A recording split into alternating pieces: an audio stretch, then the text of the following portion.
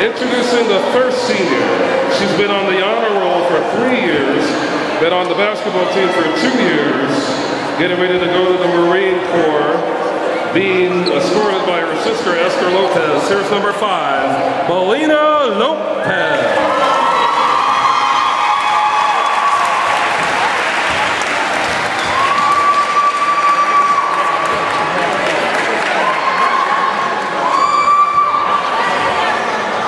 The next senior I would like to introduce has been on the honor roll for two years, has been with the basketball program for three years. Being escorted by her mother, Samantha Maynard, sister Gigi Gutierrez, and other friends. Let's give it up for number 30, Cynthia Gutierrez.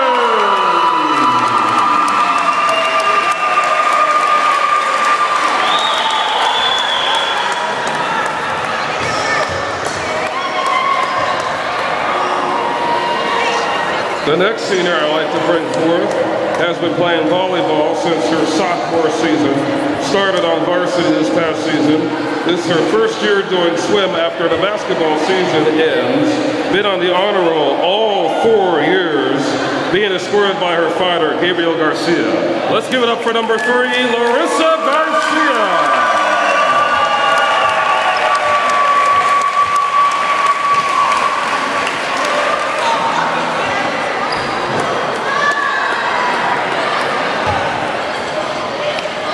The next senior I would like to introduce has been on the swim team all four years, played volleyball for two years, been on the basketball team for two years, been on the honor roll all four years. In one game, she had 10 block shots. Being escorted by her parents, Brian Diem, Lucy Carvajal, stepmom, Saria Diem, brother Lucas, and sisters Bella and Sarah. Here's number 33, Miranda Diem.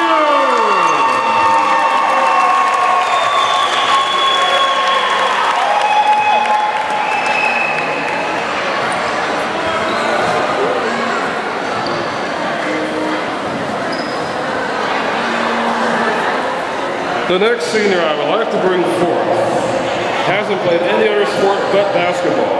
In all four years at San Pedro High School, she has had a grade none less than 3.0. Her extracurricular activities have been linked through YMCA and church activities, being escorted by her mother, Julia Estrada, and father, Guadalupe Estrada. Number 21, Angelica Estrada.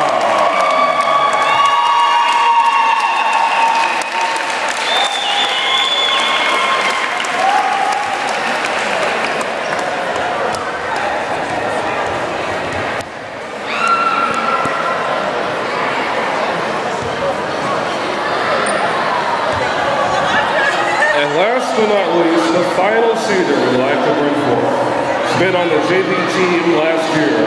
She was on the varsity team for the only time this year. Hasn't played on any other sport.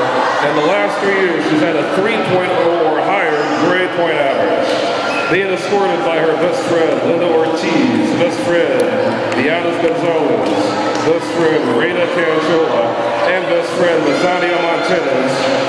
Here is number one, Cynthia Santiago.